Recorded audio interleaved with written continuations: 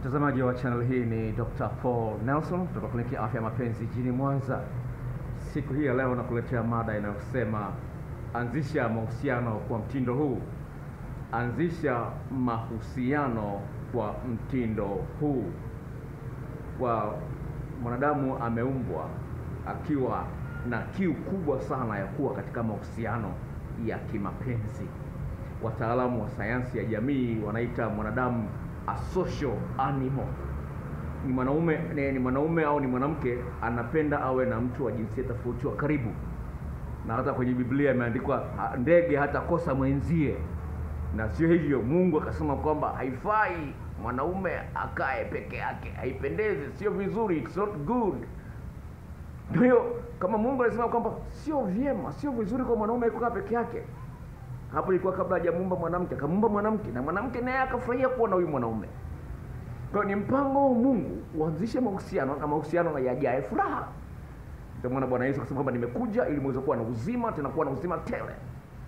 Katika mazingira kama hayo, basi haijalishi ni Muislamu, ni mwanamke, ni mwanaume, ni Mkristo, ni Mbudha, ni Hindu, mahusiano ni sehemu ya maisha yako. Usipokuwa katika mahusiano, uko katika hatari. Naomba nisikilize, usipokuwa katika mahusiano mazuri, uko katika eneo la hatari. Hata wanyama, nyama akiwa anakaa peke yake peke yake, simba atamrarua kwa urahisi, lakini akiwa kwenye kundi anakuwa salama. Kama umeshaona zile movie za wanyama, sawa sawa, ukiona yale yale, yale, yale manyama- mang'ombe makubwa yale, sawa, buffalo, sawa, yanakaa kwenye kundi kundi, hata simba anaogopa kusogelea. Ukiwa peke yako ni rahisi na kushambuliwa. Kadhalika Adam na Hawa walikuwa bustanini. Hawa alipokuwa anatembea peke yake akashambuliwa na shetani. Kwa hiyo ni kwa usalama wako unapaswa kuanzisha mahusiano, na sio peke yake. Watu ambao hawako kwenye mahusiano ya kimapenzi yenye raha wanakufa mapema kuliko wale ambao wako kwenye mahusiano ya kimapenzi. Tafiti zinaonyesha. Kwa nini? Mahusiano yanaondoa stress, yanasaidia ile kinga ya mwili wako dhidi ya magonjwa inakuwa kubwa.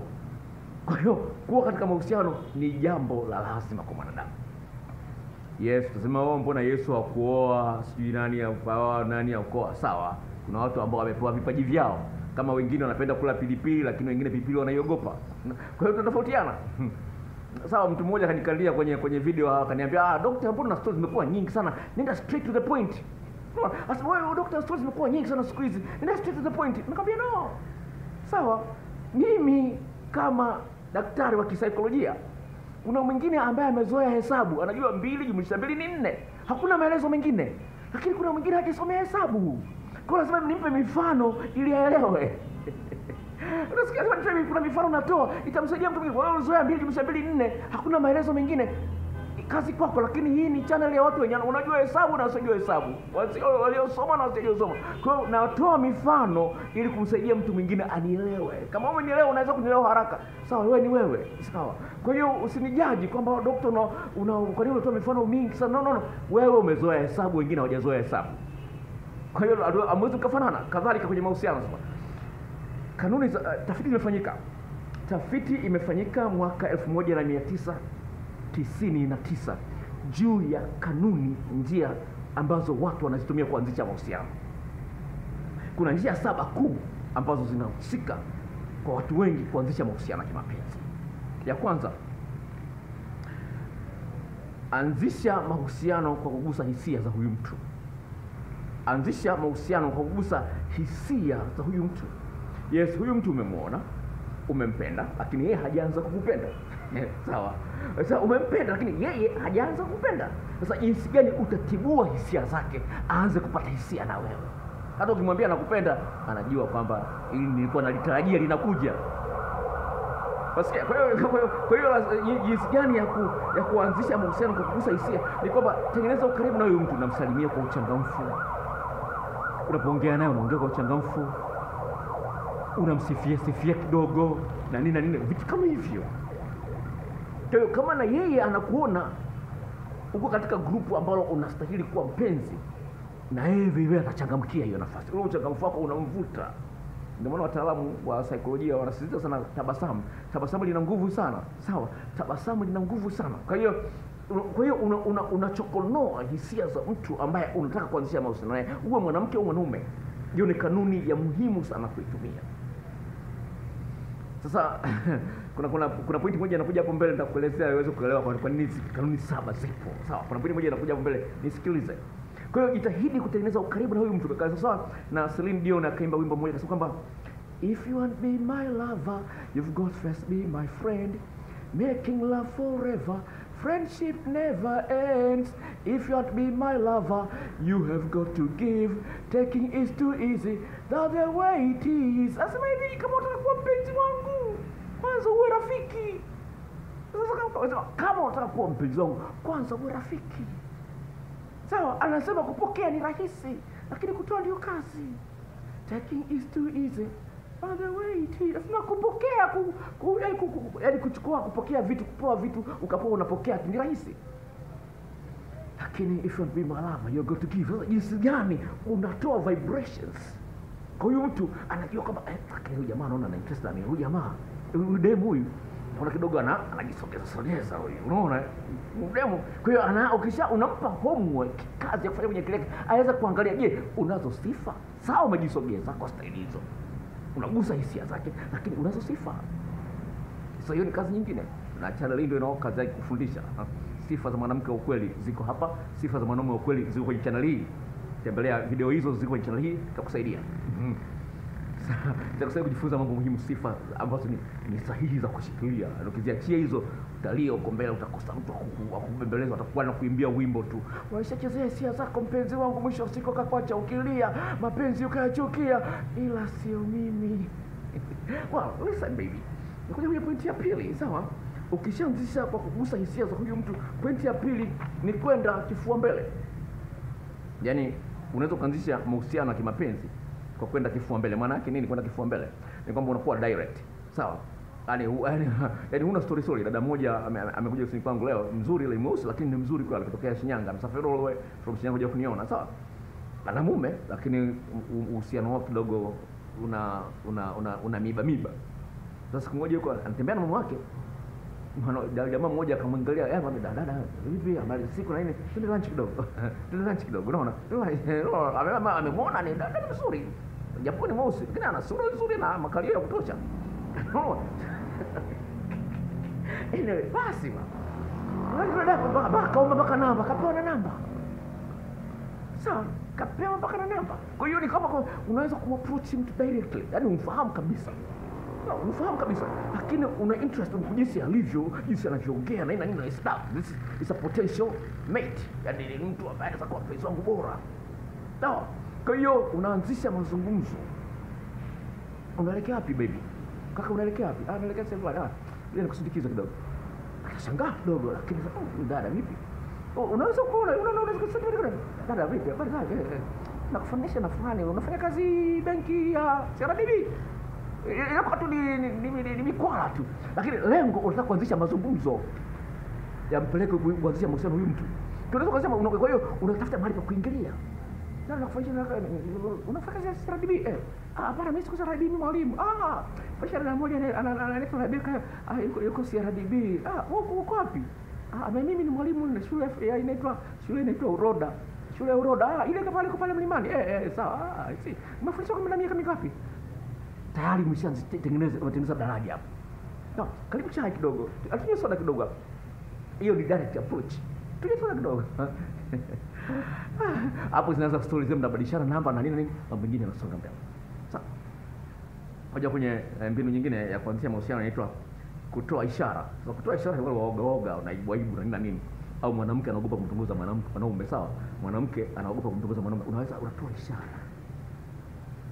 Dawa kila ukimwangalia dada mmoja nilikuwa ameenda mahali fulani kuangalia yani anakukata jicho mpaka unapata nyege kwa jicho tu. Kuna wanawake na macho ya ajabu, yani tulizozea macho hivi. Ah, ule nikivua chupi sijui inakuwaje. Anyway. Kwa hiyo kuna signals, sawa? Kuna ishara mbalimbali. Jinsi unavyomwangalia mtu, jinsi unavyocheka, jinsi unavyoongea naye. Hata kabla hujamwambia anapata picha kama "Mm, huyu mtu huyu anataka tufikie mahali ambapo tutavuliana chupi. Jaribisha kutengeneza ishara za design kama hiyo. Unakuwa karibu na yeye, kama na nini. Ah, vipi? Ah, ujafunga zipi kidogo, kusaidia kufunga zipu. Eh, Nikusaidia kufunga zipu, ufunge, unasaidia mwanaume kufunga zipu. Alipata message kwamba gopi kushika dudu wake. Anyway, hayo yote yanawezekana.